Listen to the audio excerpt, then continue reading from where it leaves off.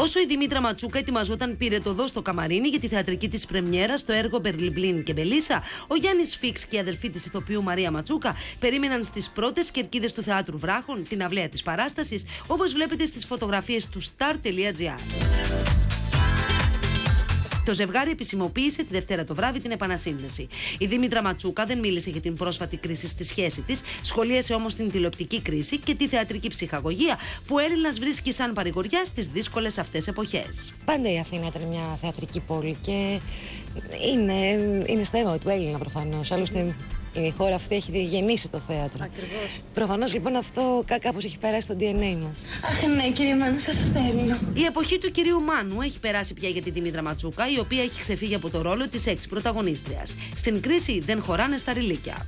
Ελπίζω ότι θα αλλάξουν τα πράγματα, όχι μόνο στη τηλεόραση, σε όλους τους τομείς που υποφέρουν. Και δεν είναι και λίγοι.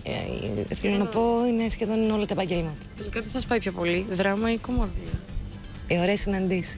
Ο Στέλιος Μάινας που πρωταγωνιστεί στην παράσταση μπορεί να φοράει τσιρότο, αλλά δεν είναι λαβωμένος από την κρίση. Παραγάγαμε 45 με 50 σύριαλ κάθε σεζόν.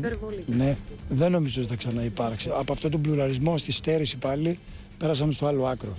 Κάπου θα βρεθεί νομίζω η μέση λύση. Περιμένω την ανάκαμψη. Αυτό το καλοκαίρι ίσως, ίσως θα το δούμε πολύ σύντομα ξεκινήσει να χνοφαίνεται κάτι ξεκινώντας από τον τουρισμό. Η παράσταση θα περιοδεύσει σε όλη την Ελλάδα. Τώρα που δεν υπάρχουν και serials και καλές εκπομπές λόγω που δεν έχουμε λεφτά στην τηλεόραση να κάνουμε παραγωγές παρηγοριά έχει μείνει για τον κόσμο το ότι μπορεί να δει θέατρο. Διακοπές και ψυχαγωγία μαζί.